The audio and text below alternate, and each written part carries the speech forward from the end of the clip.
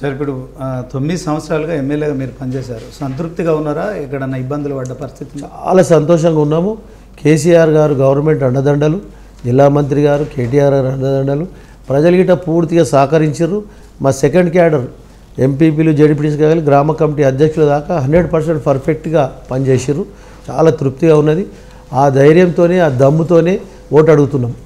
So BJP Congress పార్టీలు ఇప్పుడు పటాన్ చెరువులో మీకు ఎదుర్కోవడానికి మీ మీద ఆరోపణలు చేస్తున్నారు. వాళ్ళకి ఏం సమాధానం చెప్పి. ఇప్పుడు చెప్తే కదా మొదలే నేను. వాళ్ళ దగ్గర దమ్ము ధైర్యం ఉంటే ప్రూఫ్ చేయాలి. అనవసరమైన మాటలు పడితే జవాబు చెప్పే తరికలు మా దగ్గర చాలా ఉన్నాయి. కానీ ఇది ఎలక్షన్ పీరియడ్ కోడ్ పీరియడ్.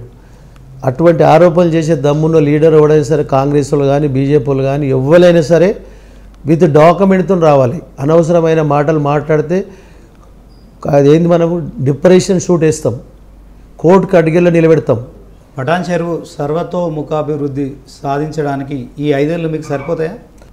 ప్రజలు కాలనీలు విస్తరిస్తూ ఉన్నాయి కాన్స్టిట్యూన్స్ పెరుగుతూ ఉన్నది రేపు పొద్దుగల నాలుగు లక్షలైనాయి రేపు తొమ్మిది లక్షలు కాబో నెక్స్ట్ అసెంబ్లీ కల్లా తొమ్మిది లక్షలు కాబోతా ఉంది. అది అందరికీ అన్ని మౌలిక వసతులు సమకూర్చాలిగా బ్రదర్. అంటే మామూలుగా మిగతా కాన్స్టిట్యున్సీలతో పోల్చుకుంటే మీ దగ్గర ఇక్కడ సెటిలర్స్ ఎక్కువ ఉంటారు. సెటిలర్స్ ఖచ్చితంగా కాంగ్రెస్ వాళ్ళు చెప్తున్నారు. మొన్న చంద్రబాబు ఇష్యూ తర్వాత సెటిలర్స్ కాంగ్రెస్ పార్టీకి ఓటేస్తారని చెప్పి చెప్తున్నారు. దీనికి కాంగ్రెస్ పార్టీ నమ్మే పరిస్థితి లేదు. సెటిలర్స్ అంతా బి బీఆర్ఎస్ వైపు ఉన్నారు. చౌదరీస్ కానీ ఎవ్- సెటిలర్స్ రాయలసీమ కానీ బీ ఆంధ్ర కానీ యూపీ కానీ బీహార్ కానీ ఇరవై ఎనిమిది రాష్ట్రాల జనం ఉన్నారు. మొత్తం బీఆర్ఎస్ వెనుక ఉన్నారు. బీఆర్ఎస్ పార్టీకి జై కొట్టి కారు గుర్తు పైన ఓడేసి బ్రహ్మాండమైన ఓట్లతో గెలిపించడానికి సిద్ధంగా ఉన్నారు.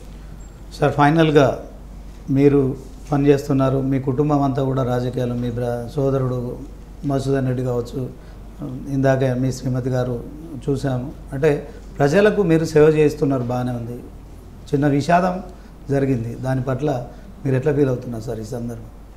ఇప్పుడు భగవంతుడు ఏం చేయాలో చేస్తుంటాడు ఇక దాని విషయం ఎందుకు సారీ సార్ ఈ సందర్భంగా ఎందుకు చేసుకోవాల్సి వచ్చిందంటే మీ అబ్బాయి ఉంటే ఖచ్చితంగా చాలా బాగా మీ బాధ్యతలు పంచుకునేవాడు అడిగినందుకు సారీ క్షమించండి. ఆయన నేను కూడా ప్రతిసారి గుర్తు చేసుకుంటాం.